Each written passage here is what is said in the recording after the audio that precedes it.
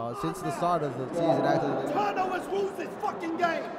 and yep, that pretty much says everything we need to know about the Saigon Heat right now. Now we're out again. Come on now. Aggressive.